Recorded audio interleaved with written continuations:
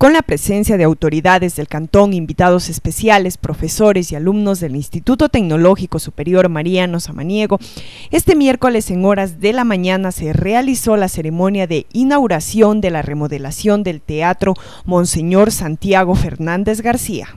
Como es tradición en estos actos, se realizó la debida bendición, la misma que estuvo a cargo del padre Wilmer Encalada. Dios te salve María, llena eres de gracias,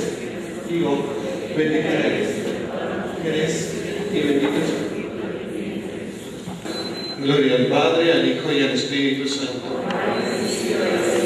En esta ceremonia se procedió con la entrega de placas recordatorias tanto al alcalde del Cantón Calvas como al arquitecto Wilfrido Guarnizo. Y como no podía faltar en este importante acto, también existió derroche de talento, esta vez tanto de música como de danza.